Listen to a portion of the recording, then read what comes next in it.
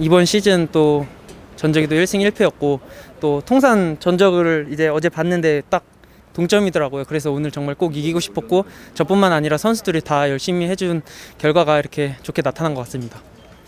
초반 두 경기에는 우선 실점을 해서 좀 아쉬웠는데 예, 이제 최근 두 경기엔 또 무실점으로 또 무승부와 또 승리를 거뒀다는 게 굉장히 긍정적인 것 같아요.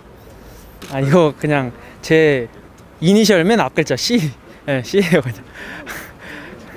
두 경기 다 너무 중요한 경기고 어떻게 올라가든 밑으로 내려가든 우선 남은 두 경기를 잘 해놔야 시즌을 잘 마무리할 수 있을 것 같기 때문에 우선 잘 준비해서 또 지금 뭐 이겼다고 안일해, 안일해지지 않고 좀 더 최선을 다해서 준비하겠습니다.